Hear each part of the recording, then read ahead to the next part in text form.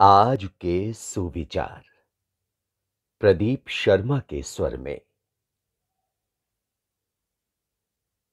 गीता में कृष्ण जी ने कहा है, जो लोग तुम्हारी बुराई करते हैं, वो करेंगे, चाहे तुम अच्छा काम करो या बुरा।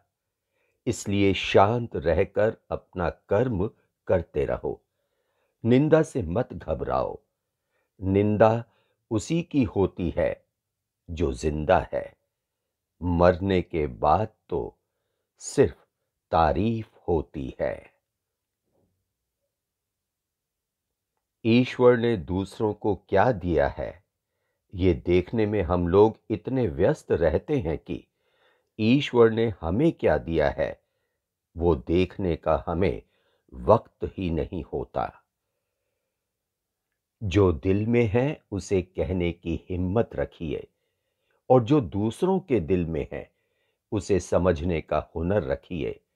रिश्ते कभी नहीं टूटेंगे। सफल इंसान के चेहरे पर मुस्कान और खुशी होती है।